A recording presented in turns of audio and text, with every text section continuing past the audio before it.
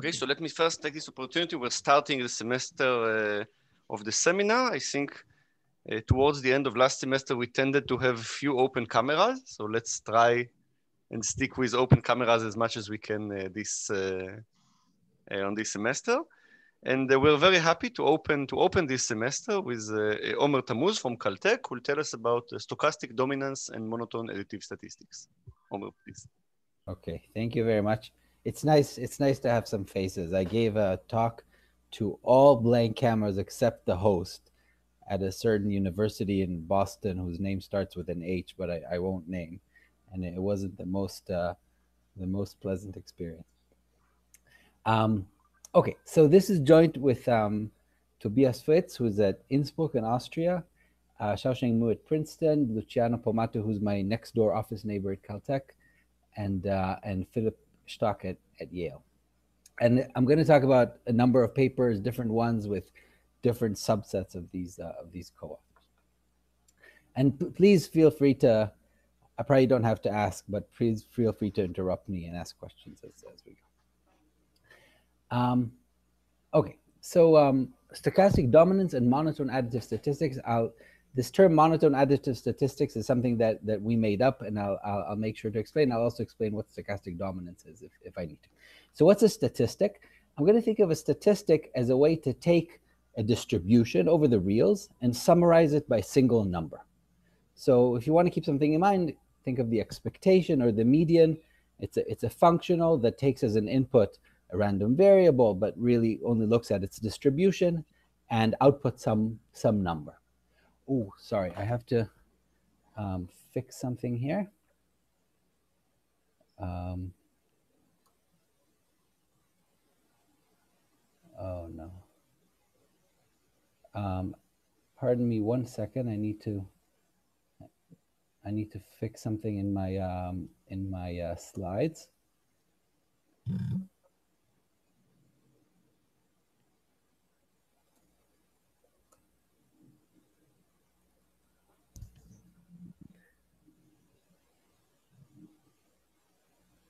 Okay, there we go. Okay, so I, I didn't want you to, to see what's what's coming ahead. So so here's here's the formal definition of a statistic. I'm gonna fix some um, non-atomic probability space and some subset of the random variables. Our main example will be L infinity, so all the bounded random variables. And a statistic is simply a map from the set of random variables to R. So it assigns a, a real number to each real random variable. And it has the following two properties. If I give it just a constant random variable, it returns that constant. So again, think the expectation. I'm trying to dis- capture distribution by one number. So when I when when when I capture just uh, the constant random variable, I want to give you that number back. And two, if x and y have the same distribution, then phi of x equals to phi of y. So we can maybe another way to define this would be to think of phi as a map on the probability measures on R. And maybe if we're looking at L infinity, these would be the, the you know, compactly supported probability measures on R. But there, there are some notational advantages to, to thinking about random variables. Okay, so I'm going to say that a statistic is monotone if whenever um, x um, stochastically dominates y, the statistic assigns a higher number to x than to y. Okay, so just a, a quick reminder about stochastic dominance. I'm going to say that x dominates y if there's x tilde and y tilde, so that x tilde has the same distribution of x, y tilde has the same distribution of y, and x tilde is bigger than y tilde almost surely. Okay, so, so maybe the right way to think about it is that x dominates y if I can start from the distribution of x, move mass to the right, and arrive at the distribution of, of y. So somehow the mass of x is to the right of the mass of y. And there are two useful equivalent definitions. Um, one is that the expectation of any, every increasing function of x is bigger than that of y when these expectations are, are, are, are, are defined. And a very simple equivalent again definition is that the CDF of x is pointwise lower than the CDF of y. Okay, so these are all very standard things, but if you haven't seen these definitions before, this this might be a lot. So I'm I'm is glad that, to. Is that is that lower, not uh, not higher? I mean, um, yes, the CDF has to be lower because the mass to the left of every given number on X is less than the mass of Y. So, so say the, the mass on the negative of, of, of, of X, the CDF at zero, is less than that of Y because X. Okay, yeah, the, its chances of being a smaller are smaller. Yes. Okay. Yes, yes, Got it. exactly. Yeah, it's confusing because it goes sort of the, the other way. So these are all equivalent uh, definitions. I'm going to say that a statistic is additive if phi of x plus y is equal to phi of x plus 5y, but just for independent random variables x and y. Okay, so if we think of phi as actually a map defined on the probability measures, then this just means that it's it's it's additive under convolution. So if now mu is the is the law, the measure, the distribution of x, and nu is the distribution of y, it means that phi of mu convolution nu is the sum of phi of mu phi of nu.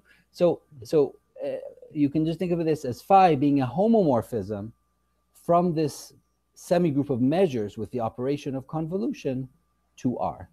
So that's an additive statistic. And um, the question that, uh, the, the, the main question that I'm going to ask is, what are the monotone additive statistics?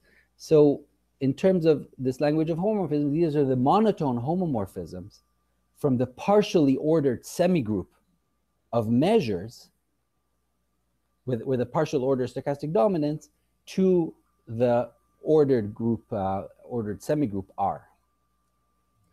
Um, and I'll focus on the case L infinity. So what are all the ways to capture a bounded distribution on the reals that has the two properties of monotonicity and additivity? If I move mass to the right, I want this to become a bigger number. And if I take the sum of two independent random variables, I want to get the, the sum of what I assign to each one of them. That's, that's the question. So I'll start with L infinity, and then I'll continue to, to larger spaces. Okay. Now, one example of such a phi, it, Can I ask sorry? a question? yeah, Can yeah, I yeah. ask a quick question? So Please, by please. infinity, you mean compact support of the Yes. distribution? Okay. Yes, Thanks. yes, yes, exactly. Um, one example of such a phi is the expectation, right? So the expectation, it's additive for independent random variables. In fact, it's additive for any random variables, but and it's monotone with respect to stochastic dominance. I move mass to the right, I just increase the expectation. I want to give a, a sort of a, a, semi and an applied motivation for these properties. So you know, okay, this is maybe not very well thought out, but bear with me. Imagine that you have to design an algorithm for for a, an autonomous car. So it has to it has to get from A to B, and there are two ways to get there. You can either take the red road or the or the blue road, and you want to take the shorter road. Um, so so the, the road that will take less time, not the shorter in distance, the shorter in time. Now you don't know exactly how long it's going to take you. So when if you go this way, it'll take some amount of time x. If you go this way, it'll take some amount of time y. So you wanna you want some criterion to choose how to go. So a natural way to just reformulate um, this problem is I'm going to have some statistic that will take this random amount x, this random y, y and translate them to, to, to, to a number each. And then I'll just compare these numbers and choose the lesser one. So a way of thinking about it is for, for this algorithm, a random amount x is equivalent to a certain amount phi of x.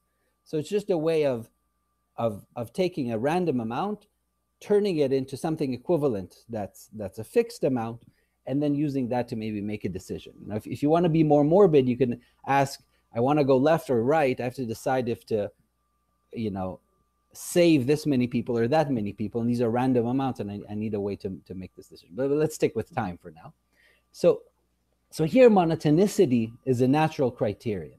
If I have two distributions, x and y, and x dominates y, it's natural that phi of x would be bigger than phi of y. And therefore, you know, I'll choose the one that's dominated in this case because I prefer shorter times.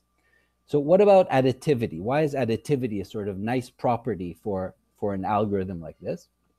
Well, imagine that I have to um, I have to go from again from A to B, and I have to decide if to go, if to take uh, the red road or the or the blue road, and which will take me either X or Y. But after I get to B, I have to continue to C, and there's only one way to go, and that'll take Z time. And there's uncertainty everywhere. You know, the traffic lights, the I don't know what. But but Z is going to be independent of X and Y. Then maybe what I want is that it doesn't really matter whether I have to continue from B to C or not. If I choose X over Y, I do it regardless of what Z is. So if the driver tells me I want to get from A to B, I don't have to guess if afterwards the driver will also ask me to go to C. Because really my choice here is not between X and Y, it's between X plus Z and Y plus Z.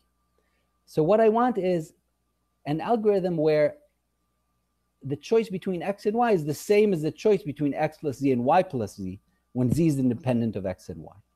And here's a very simple claim. It says that if phi of, suppose that the, this phi has the property that phi of x is bigger than phi of y, implies that phi of x plus z is bigger than phi of y plus z for all z independent of x and y. That is, whenever I take x over y, I will also take x plus z over y plus z, no matter what z is. Then phi is additive. So this is equivalent to, to, to being additive. Or this implies that you're additive, but the, the equivalence is, is easy to see. So in fact, I'll, I'll show you a stronger claim. Suppose that equality of phi of x and phi of y implies that phi of x plus z is equal to phi of y plus z for all z that are independent of x and y. Then I claim that phi is additive. So this is a, a three-line proof. So suppose that x and y um, are independent. Now remember that phi of phi of y, so here phi of y is just a number, but I think about it as the constant random variable, is again equal to phi of y. So this is the property that we have as a statistic. When I throw in a constant, I get that constant back out. So what do I have? Okay, so this, this is a bit of a boring calculation, but phi of y plus x is the same as phi of 5y plus x. Why is that? Because phi of y and phi of 5y are the same. So by the assumption here, the two sides are equal because I add x to both of them. What I have on this side, phi of 5y plus x is the same as this. I just exchange x and phi of y. And now I apply the same thing again. x and phi of x are the same, and I add the same thing to them. What I have here is just phi of a number, which is equal to that number again. So I get that phi of y plus x is equal to phi of x plus phi of y. Okay, so this, this was just a little motivation for why maybe having the sort of additive statistic uh, is interesting. Any questions so far? Um, uh, yeah, uh, question. Yeah. Uh, what did you use here? Independence? Um, well, I want to show that if x and y are independent, then um, it, that then five uh, then five x plus y is equal five x plus five y. Where did I use independence? Um, right. So because these are constants, th this is all in the um, in the assumption, Omer. Right. Yeah, so, when you so move from I, x plus y to phi of y plus x, you need to use the, the assumption that you can yeah. move to adding an independent object and constants. Exactly. So so for this for this to be true, then uh, x and y have to be independent because the, the, I colored red here, so the x here plays the role of z, and z has to be independent of both x and y. That's our that's our assumption. Okay, thank you. Okay. Okay, so let's so so I, I'm going back to the question: What are the monotone additive statistics on L infinity? So I want to assign to each bounded random variable a number in a way that's monotone and additive. So let's look at what examples what examples we have. One example is the expectation. Another example is the essential maximum, so the maximum of the support. This is obviously monotone with stochastic dominance. I move mass to the right, it only increases the maximum weakly. And it's also additive. If I take two independent random variables and add them together, the maximum of the sum will be the sum of the maximum. And the same thing for the essential minimum. A more interesting example is what I'm going to call the normalized cumulant generating function. So I'm, so for each a different than zero, I'm going to define a function ka that takes as an input a random variable x and returns the cumulant generating function evaluated at A and then normalized by 1 over A. Okay? So this is the moment generating function. I take the log of that and I normalize by 1 over A. The, the reason that I'm normalizing is so that when I put in a constant here, I get the same constant out here, right? So if x is just a constant, this is just equal to x again. Okay? Now, this is additive because, well, for independent random variables, the moment generating function is multiplicative. I take the log and, and it's additive. And it's monotone because I'm taking here the integral, well, for positive a, I'm taking the integral of an increasing function. So that's going to be monotone for stochastic dominance. For negative a, I'm taking the integral of a decreasing function. So it's going to be anti-monotone, but then the normalization makes it monotone again. Now, in fact, this only this works for a different than zero. If I take the limit a equals to zero, I get to the expectation. I take the limit to infinity, I get the maximum. I take the limit to minus infinity, I get the minimum. So in fact, if I allow this parameter to take values from minus infinity to infinity, including minus infinity and infinity, then these KAs include all the examples that we've that we've seen so far. Okay, so so so these are some examples that, that are easy to come up with. The question is, is there anything else? Well, okay, you can take averages of different KAs. I can take K17 times 1 half plus K18 times 1 half. And I can take integrals of different KAs. But the main theorem is that this is it. So, so here's the exact formulation. If I have a monotone additive statistic on L infinity, then I'm going to have a probability measure on this closure of R, R, R bar, which is R union plus minus infinity. So this, I'm going to choose this parameter A according to this measure.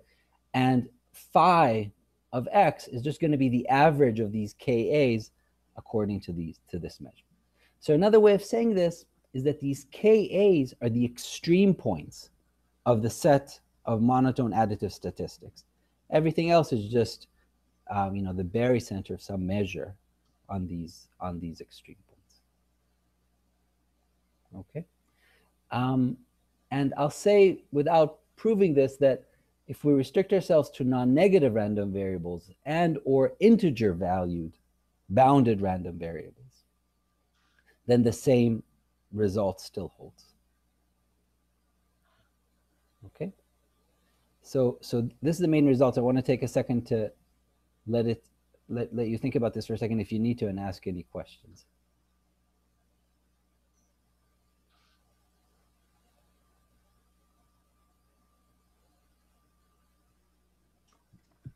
Okay.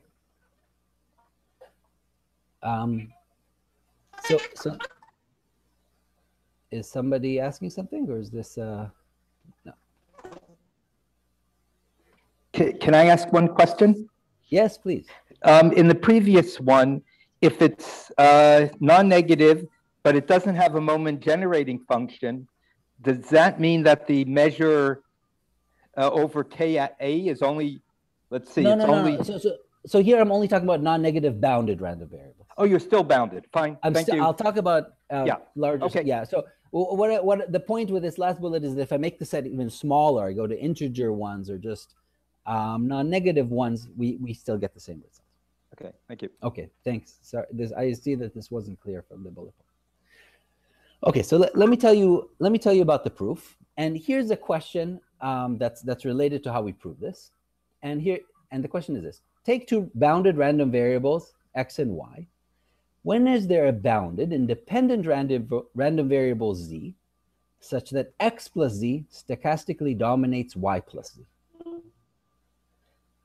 Okay. So clearly, if x dominates y, if I add to both of them an independent z, still x is going to dominate y.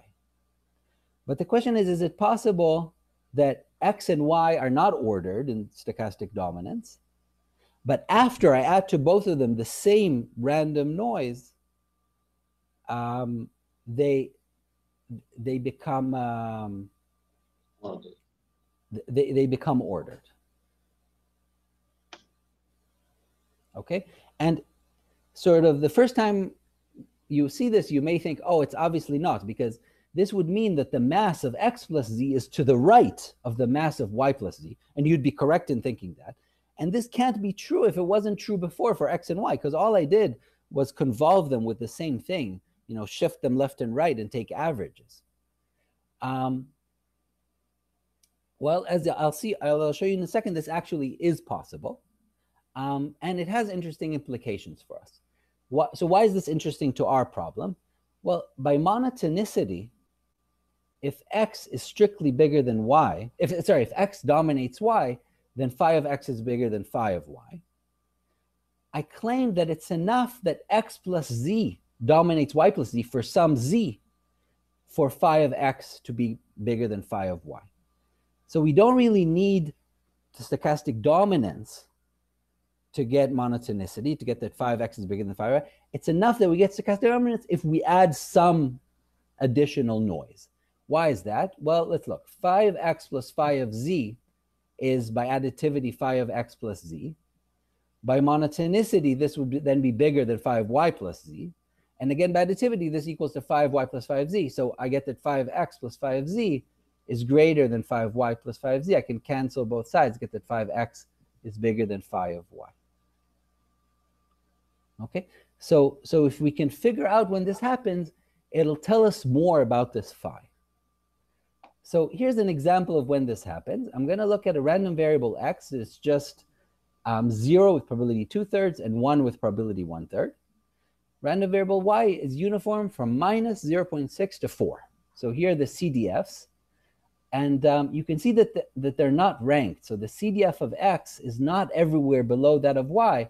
There's a little kink where it's above. Now I'm going to add to both of them a z, which is this going to be minus one half or plus one half, each with probability one half.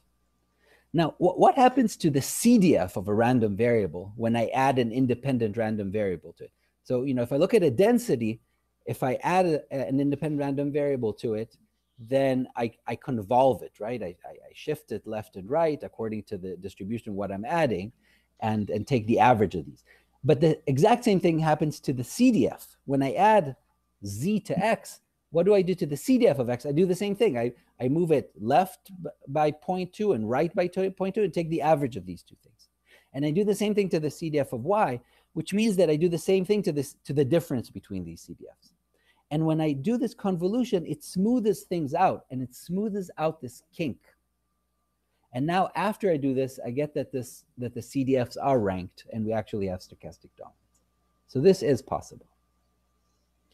So the question that we're going to ask is, well, when does this happen? Under what conditions on x and y is there an independent z so that x plus z dominates y plus z?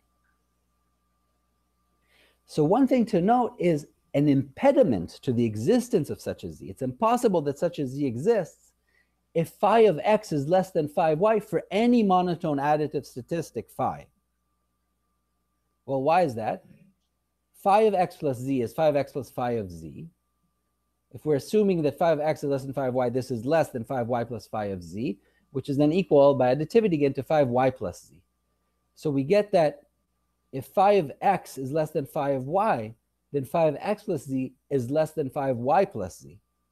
But then it's impossible that x plus z dominates y plus z because phi is monotone. Okay, so in particular, we know that these KAs our monotone additive statistic. So if if Ka of x is less than Ka of y, then this is impossible. So you know if we unpack these Kas, if the mon if the moment generating function of x is higher than the moment generating function of y for some positive parameter, then it's impossible that we add a z and we get stochastic dominance because the moment generating function will still be ranked the same way after we add the z. The interesting thing is, it turns out that these are actually are essentially the only obstructions. So here's sort of the main technical lemma.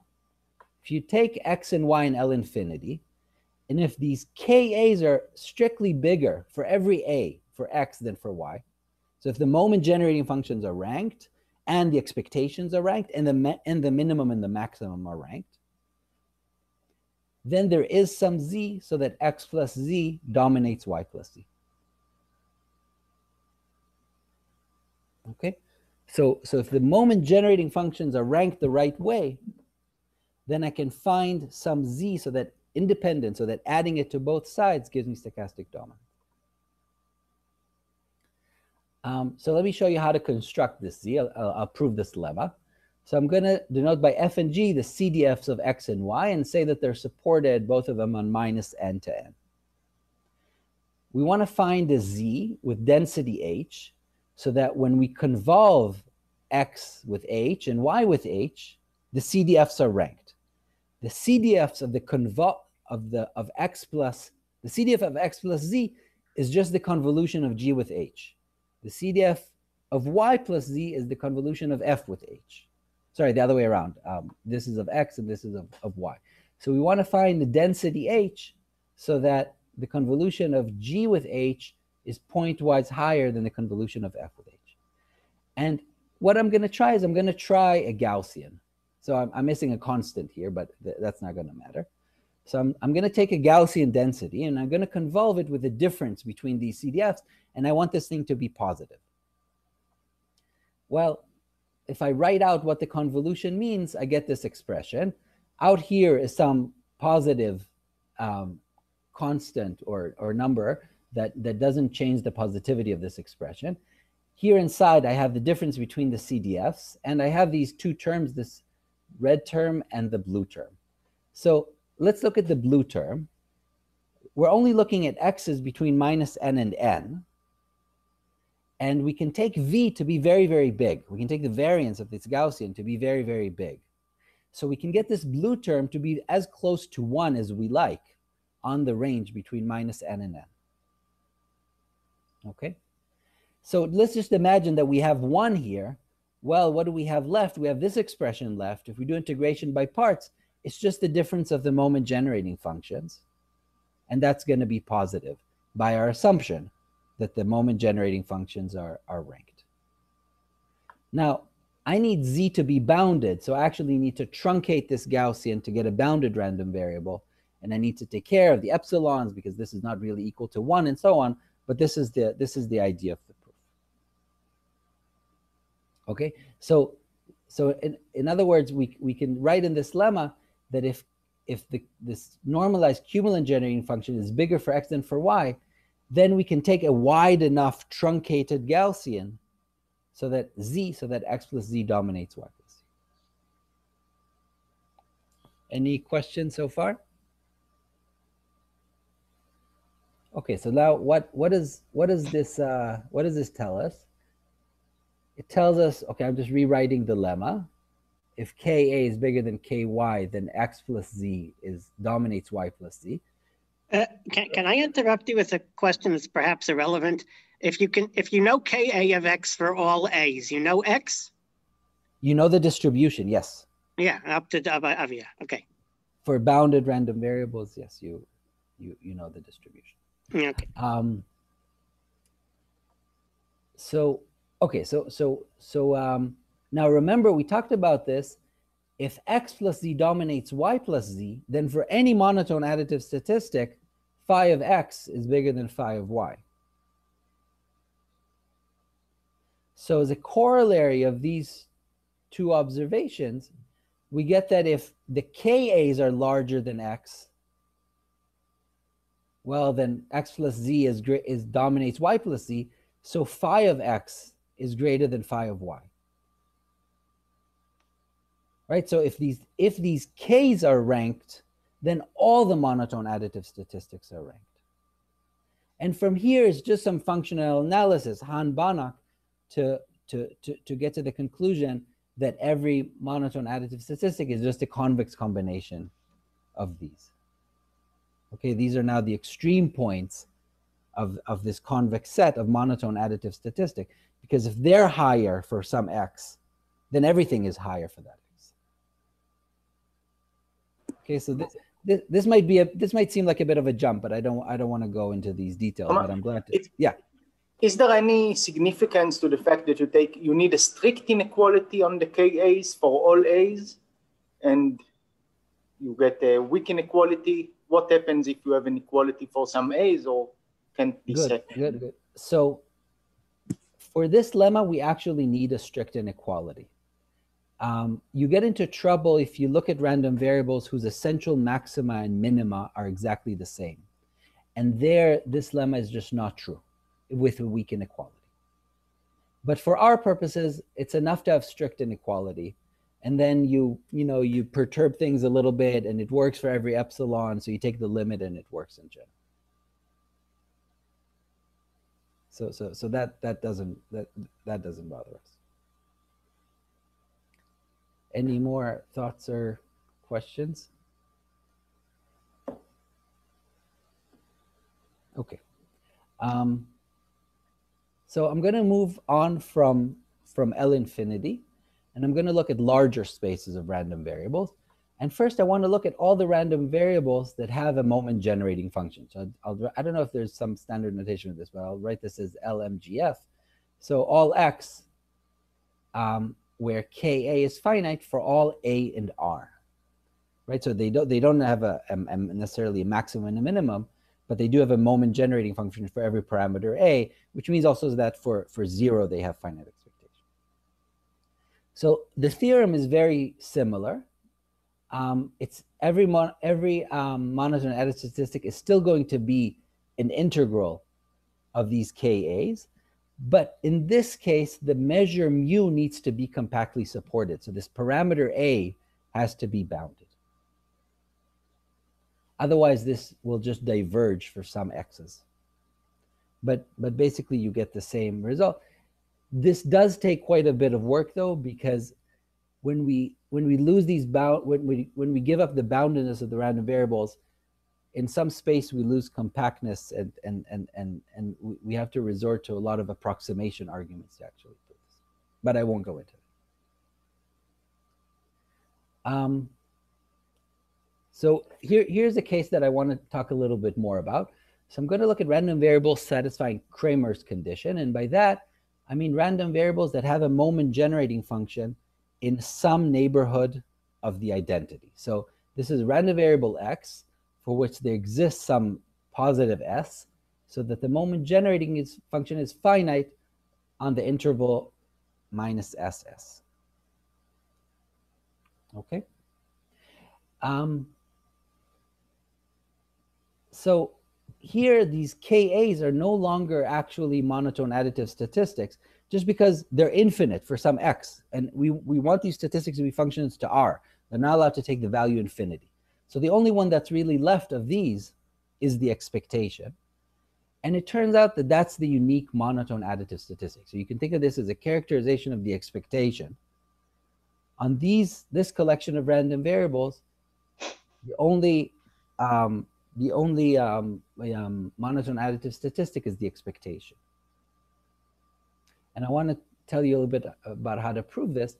And the proof is again going to go through this idea of adding noise and getting stochastic dominance.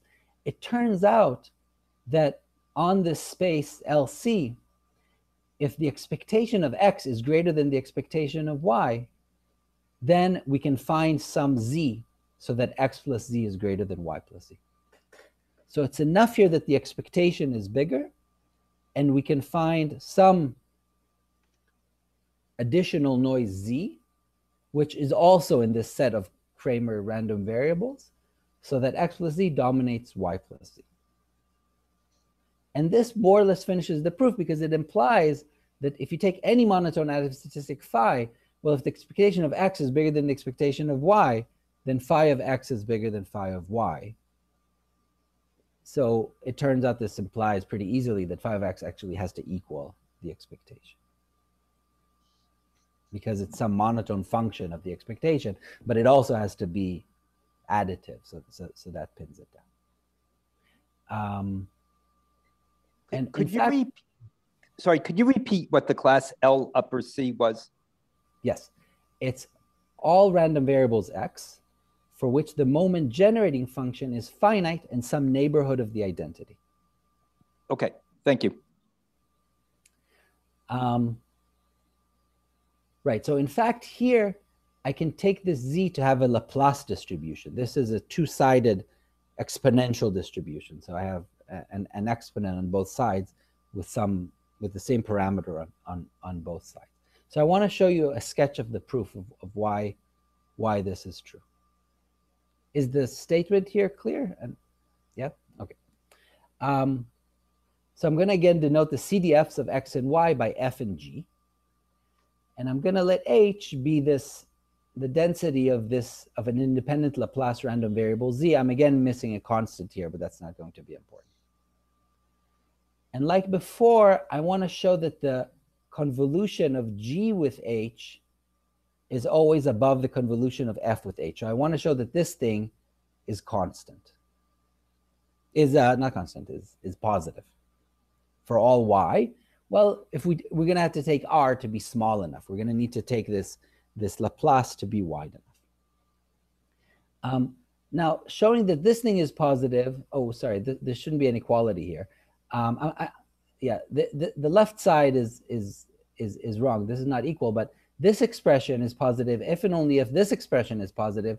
The only difference is I multiplied by this, by this positive number here, e to the r times the absolute value of y. So, so we want to show that this, this, this integral here is um, is is positive. Um, and so I, I want to look at the expression in the integral here. So we have we have this thing, um, which I wrote here in blue. I'm going to call this. I'm this. I'm going to think of this as a function of x because we're integrating with respect to x, but it's parameterized by r and y. And um, this is a this is a drawing. The blue is, is a drawing of this function. It's, okay, what does it look like? I'm going to first draw this red function. The red function is just e to the rx, r times the absolute value of x. So it's an, an exponentially growing on both sides. The blue function is always equal to 1 at 0. That's what this normalization does. And, and the, you know, it, it looks like this Laplace density, except it's shifted so the center is at y. The important thing that it's always underneath this red function. Now, if we take r small enough, then this red function is integrable because the integral of this red function times g minus f, integration by parts gives me the integral according to g and f of some exponent. And I know that the moment generating function exists. So this is going to be finite. So, so, so this integral of the red function times e times s is finite precisely because x and y satisfy this Cramer condition. Now, if you, uh, what r does, r controls how wide this is. When, when r goes to zero, this becomes wider and wider and wider. And if, if you think about it for a second, you'll realize that regardless of what y is, if, if I look at a particular x, it's going to if I take r to if I take r to zero, this function f of x for every given x is going to converge pointwise to one. And this is uniformly over y. So, um, so be, because this blue function is dominated by the red function, I can use dominated convergence to say that this integral just converges to the integral of, of g minus f because this thing inside here just converges pointwise to 1. Now, the integral of the difference of the CDFs is just the difference in the expectations, which by assumption is positive. Okay. Um, so, so, so, so that, that's the end of the proof. Again, I'm sort of rushing through it. I, it looks like I might finish kind of early. I, I apologize. Um, okay. So, so, so that was for this Cramer condition random variables. Now I want to look at LP. So this is the set of random variables X that have finite P moment. And here's the, here's the theorem. If P is larger than one, then the expectation is, is finite, the expectation exists, and it's the unique monotone additive statistic. If P is less than one, then the expectation doesn't exist anymore, but there's nothing else. There are just no monotone additive statistics. In particular, in the set of all the random variables, all distributions, there are no monotone additive statistics. Okay. Um, and as before, the main ingredient of the proof is that if I take x, y, and LP for p greater or equal to 1, then if the expectation of x is bigger than the expectation of y, I can find a z so that x plus z dominates y plus z. z will need to be an LP minus 1. So z somehow has to have fatter tails than both x and y. And, uh, and I'm, I'm, I'm not going to go into more details of, of this proof, but it, it actually takes a little bit of, of arguing. Um, I think this is the last thing I want to show. No, sorry, there's there's yet something else. So I want to look at a, a set of random variables. I'm call it, I'm going to call it L1 plus because it's L1 plus some more random variables. And these are all the random variables, x, such that the limit as n goes to infinity of n times the probability that x is bigger than n exists. I just want this limit to exist. Okay? Now, this limit is equal to zero for things in L1. That's an, that's an easy exercise. Um, but for things beyond L1, this could be non-zero. So L1 is strictly contained in this L1 plus. This L1 plus is also strictly contained in all L1 minus infinity. So this, this really sits between L1 and L.999. So I'm going to denote phi of x to be exactly this expression, this defining expression, the limit as n goes to infinity of the probability that x is greater than n. It turns out that this phi is monotone and additive. So this, this takes a few lines of proof, which I'll, which I'll omit, but, but it, it is, I mean, monotonicity is immediate just because each one of these, for every n, this expression is monotone with respect to stochastic dominant. But for additivity, you need to write something down. This is not exactly a statistic because for every constant, this is zero. In fact, this is zero for all things in, in L1.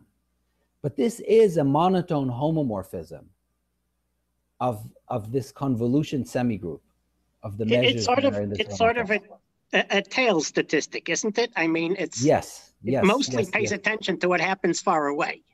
It only pays attention to the tail, exactly. In fact, it's, it's translation invariant uh, because oh, well, this is additive. the condition for the weak law, right? In some sense, this is Feller's condition for the for the weak law. Uh, when the weak law holds, but the strong law doesn't. So in a sense, you could have taken the space of variables which have a pseudo expectation. That is, that if you truncate them into this range, they they they their expectation converges to something. Maybe then you could have a more proper statistics on this more restricted space. Right. So the, po the point is that the variable is not enough symmetric, right? It's not sufficiently symmetric to have an expectation because, well, it, it uh, could no, really tail, have no expectation. The tail is too the tail is too thick to have an expectation. Yes, right. But uh, but if the variable would also have been more or less balanced on positive and negative, and you would have this tail statistic, this tail condition, then in principle you would have something which is sometimes called a pseudo expectation. Right. And maybe right. this would have been a statistic on this more restrictive set. Yes. Yeah, so, so you so you want to look at things where these two limits are the same when you go left and right.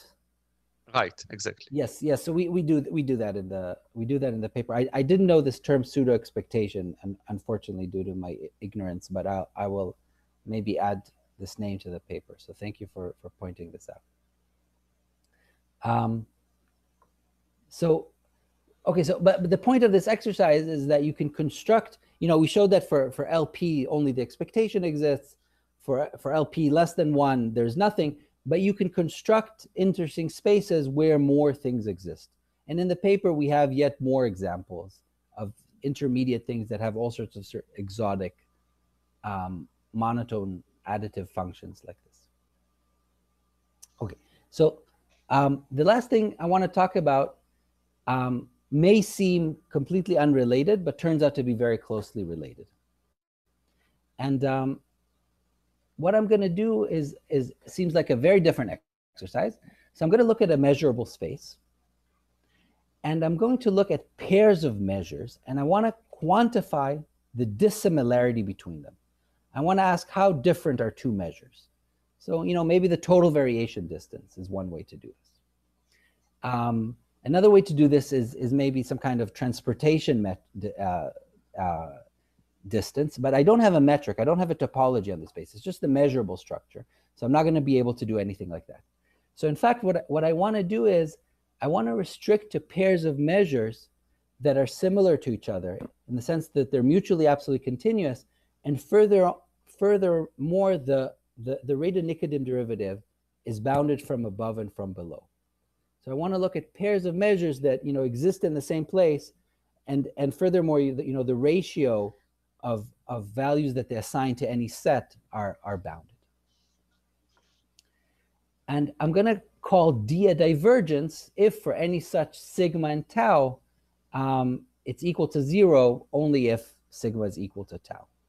Okay, so this is a very minimal requirement of something that measures dissimilarity. Now, I'm going to say that it's monotone if it satisfies what I call the data processing inequality. And the idea is this if I push the two measures forward with the same function f, the dissimilarity only goes down. Right? So think of atomic measures. If I push them forward with the same with the same function, well, if this function is a bijection, then the distance should stay the same, and this is implied by this inequality. Otherwise, I'm sort of I'm uniting atoms and I'm losing some fine grainness of, of, the, of the differences between the measures. Um, but this is similar to what's called the data processing inequality in, in, in other fields. So this, this is not completely made up. Okay. And I'm going to say that D is additive if for product measures, it's just the sum of the D's for each um, for for you know for for the, for the components. So D of a product sigma 1 times sigma 2, how dissimilar is that from tau 1 times tau 2? Well, it's D of sigma 1 tau 1 plus D of sigma 2 tau 2. Okay? So let's look at some examples. One example is the KL divergence. Another example is what's called, and the KL divergence, notice, is the expectation of the log of the Radon-Nikodym derivative. There's what's called Renyi divergences, which are the Radon-Nikodym derivative to some power a minus 1. But what's really, really the way to think about this is this is the cumulant generating function of the log of the Radon-Nikodym derivative. Right? So if I wrote here e to the log d sigma to d tau to the power a minus 1, I could I'll just cancel. But this is just the moment generating function of the log Radon-Nikodym derivative, which for which I'm taking the expectation here. In fact, if I take this parameter a to one, I just get um, I just get the KL divergence. So these are all examples of these divergences that are monotone and additive. And the theorem again is that this is it. So everything else is now just going to be uh, an, an integral of these things I have to write it as a sum of two integrals because the order matters. dA of sigma tau is not the same as tau sigma. So I need to take some averages of dAs with sigma and tau and some averages with tau and sigma. But everything really is just uh, uh, a sum or an integral of these things. And that's it. Thank you. Thank you. Um, any questions at all?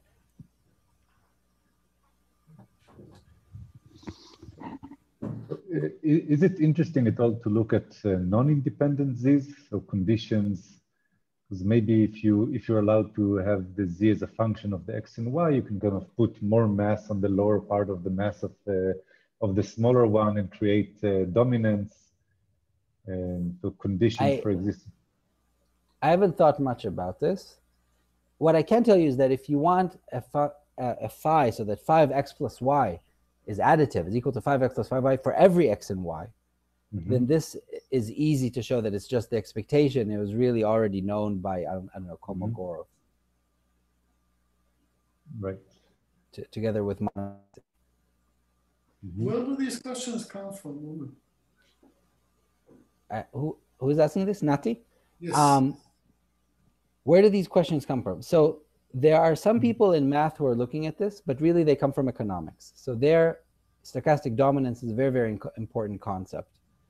Um, but there's a big literature on partially ordered semigroups and their homomorphisms. Um, and so I, what I showed you here, I think is already beyond what economists care about. And, uh, and I, I'm just interested in this for its own good. I always hear about them from Sergiu Hart, so that's a good indication that uh, there's something to what you say. So, so here's an open question. Maybe I'll, I'll tell you one more thing. Um, so, so take all probability measures on the reals, and I want to look at um, at functionals on these probability measures that are additive with respect to convolution and are always non-negative. Okay, so one example is the variance, but the variance is not really an example because some things don't have a variance. But if you restricted yourself to L2, you would have the variance as an example of such a thing. So it's something that's always positive, always non-negative, and it's additive for independent random variables. So, so that there is, as far as I know, there's nothing known about this. Um, uh, I, I, don't know if there's anything on the set of all random variables, on the set of all probability measures. I don't know if in L2 the variance is the unique one. I, I don't know anything at all. Um, there, there's a book by Ruzsa and Szekely from the 80s, these two Hungarian mathematicians, called Algebraic Probability Theory that has a lot of very beautiful things and original results that don't appear anywhere else. And we actually use some of the results in some of the results that I that I mentioned here.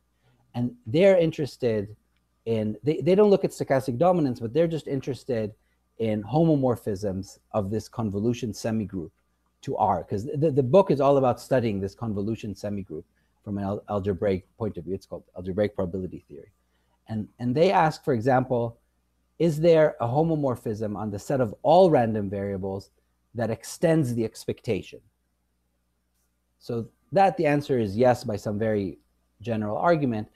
More interesting, show that they show that there is one that is um, that assigns zero to all symmetric random variables. They show that there isn't one that assigns a positive number to all positive random variables.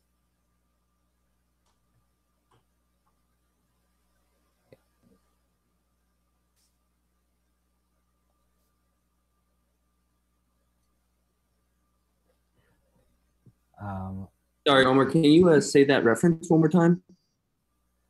Um, let me maybe type it in the chat. The book is called Algebraic Probability Theory.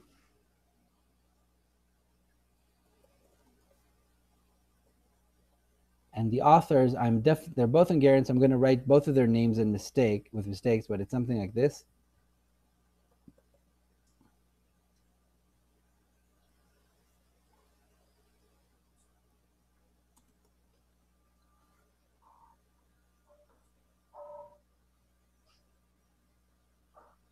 Cool, thank you.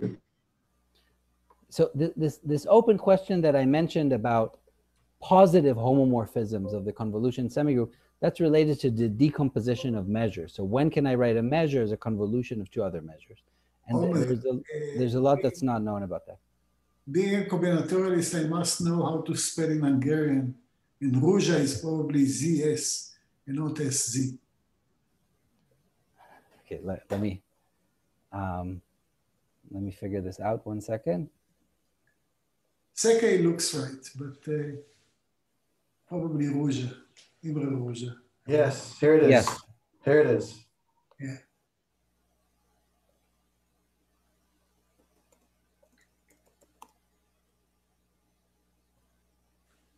So yeah, so uh, you're absolutely right. I got Szekely right, but not not Ruzsa.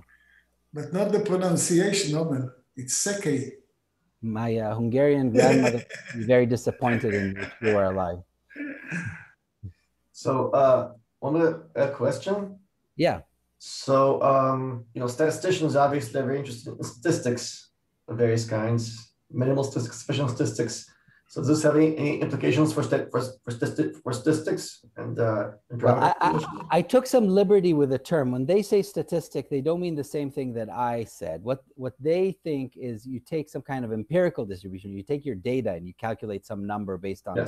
that. Yes. But somehow, you know, if you have a lot of data, then you can think about the distribution of the data, the and and and and apply the the statistics to that. So I so I, I took, but there are papers so there's a, a paper by Lehmann, who's this very famous statistician, a paper from the Bickel and Lehmann from, from the 80s or so, where they also quantify what they they call these things measures and not statistics, but I, I didn't want to use the term measures because we'd have too many measures here. And they look at what they call location measures. So they also have these axioms like monotonicity with stochastic dominance is something that they look at, but they look at different things like um, uh, um, homogeneity and so on that that that are different from what we're looking at. And uh, can you, uh, you you mentioned the term pseudo mean during the talk? Can you? I think Ohad Ohad mentioned it. Yes. So what is it? So it's a it, pseudo means no right. Uh, uh, not real, right? No, not the actual thing. And in this context, I said it for a pseudo expectation, which is when you have a weak law the weak law of large number holds, although you don't have an expectation. So the strong right. law has an if and only if if you have an expectation, but the weak law can be extended a bit beyond. And when it can be extended to some value, we say that this value is the pseudo expectation of. Right. Uh, right. So there's this notion in uh, function analysis called weak L1. There's the L1 class, and there's a, a, a, slightly or a, a larger class called weak L1, which is which is those random variables that satisfy Markov's inequality, right? So, so if, if you have a finite mean, you have you have Markov's inequality, right, on, on the tail. You can you, you can have Markov's inequality even without. You can have so now you take that inequality as a definition of of uh, of your of your size, right? Right that defines weak L1. So in my research, that came up, and that actually became a very important object. Is there any? Uh, have you uh, encountered that object? And um, I, th th this might be more or less what the kind of thing we're looking at here. I'd have to think about it for a second, but it it, it looks well. It looked well. You, you, we also want this limit to exist. So so not just say the lim sup to be finite. Right, right. For me, lim sup was, was enough. Yeah, we, we want the limit to exist and then we get this monotone additive statistic so that's the actual are there um so one question to ask is you know a lot of a lot many many many pages have been have been written about estimating the mean of a, of random variable. Right? Has anybody ever uh, expressed interest in estimating this this weak weak mean weak l1 mean? Is, you know is, is that an because that might be that might be easier to estimate that might be uh, possible to estimate in a much broader class of distributions? Right. Yeah. I I I I, I don't know. I mean, this this condition that this limit exists is, you know, it's a bit artificial. We, we just wanted to construct something to show that there that there are other possibilities out there. So I, I don't know if this is interesting to anybody else. Can I ask another question? Yes, please. Um, so one of the things you had were two random variables which were not stochastically ordered, but you add a z and they become stochastically ordered. Is there any of interest to look instead at real value instead of measures on the line where you're linearly ordered, but instead look at measures in the plane where you just have a partial ordering? Would some of it go through? Is any of it interesting? Um, yes. So um, um, me and some and other people are working on this, and in fact, the same thing holds. So you can do the same thing in Rn with the natural um, notion of stochastic dominance there, and you get the same result basically, that the moment generating function is what determines these things. Okay. That's, that's a great question. Thanks.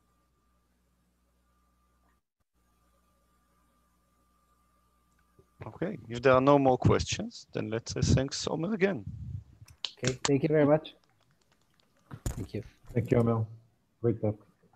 All right. Good night. I'm going to go to sleep. Good night. Yes. Good night.